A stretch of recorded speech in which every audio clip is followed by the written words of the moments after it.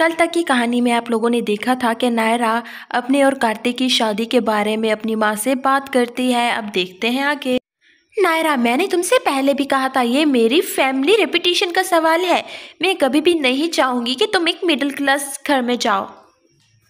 मामा, मैं उस middle class लड़की से प्यार करती हूँ और उसी से ही शादी करना चाहती हूँ। चाहे कुछ भी हो जाए अब सुन ले मेरी बात। कार्तिक माँ मेरी बात नहीं मान रही। वो चाहती है कि मैं तुम्हें भूल जाऊँ और मैं तुम्हारे साथ शादी ना करूँ। नायरा, ये तुम कैसी बातें कर रही हो? ऐसा कैसे मुमकिन हो सकता है? तुम जानती हो मैं तुम्हारे बिना नहीं जी पाऊँगा। अगर तुमने मुझे छोड़ा तो मैं मर जाऊँगा। कुछ दिनों बाद नैतिक वापस आ जाता है। नैतिक जी, मैं सोच रही हूँ कि हम हमारी बेटी नायरा की शादी कर दे। अब उसकी शादी की उम्र हो चुकी है। बाद में भी करनी है, वही अभी कर देते हैं। हाँ मैं भी तुम्हें इस मामले में कुछ कहने वाला था। मेरा एक एम्प्लॉय है और वो मुझे बहुत पसंद है। मैं चाहता हूँ कि नायरा की शादी उससे हो जाए। ठीक है नैतिक जी, आप अपनी पसंद से कोई भी लड़का देख लीजिए। मुझे बस बता दीजिएगा, ताकि मैं शादी की तैयारियाँ अच्छी तरीके से कर सकूँ। आखिर फैमिली रेपुटेशन का सवाल है। नायरा कार्तिक से आखिरी बार मिलने जाती है।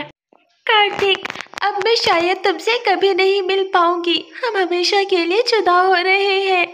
मैं तुम्हारे बिना नहीं जी पाऊँगी। मैं तुम्हें बता रही हूँ, मैं शादी नहीं करूँगी। नायरा ऐसी बातें कहकर मुझे क्यों तकलीफ़ दे रही हो? क्या मैं नहीं चाहता कि हमारी शादी हो जाए, लेकिन मैं क्या कर सकता हूँ? मैं तुम्हें भगा कर भी नहीं ले जाना चाहता। मैं तुम्हें इज़्ज़त के साथ ब्याह कर ले जाना चाहता हूँ। नायरा और कार्तिक दोनों बहुत रोते हैं और फिर उसके बाद, कार्तिक, अपना बहुत सारा ख्याल रखना। ज़िंदगी रही तो मैं तुमसे फिर मिलने आऊँगी।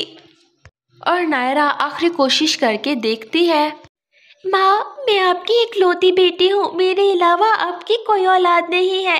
क्या आप नहीं चाहती कि मैं खुश रहूँ? मैं जानती हूँ आप मुझसे बहुत प्यार करती हैं और आप चाहती हैं कि मैं शादी के बाद सुखी रहूँ। लेकिन माँ, मैं कार्तिक के बगैर कहीं भी खुश नहीं रह पाऊँगी। प्लीज़ माँ, मान जाओ मेरी बात।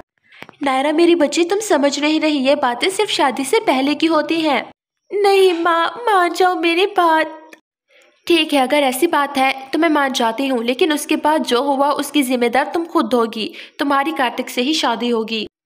और फिर कार्तिक और नायरा दोनों की शादी हो जाती है।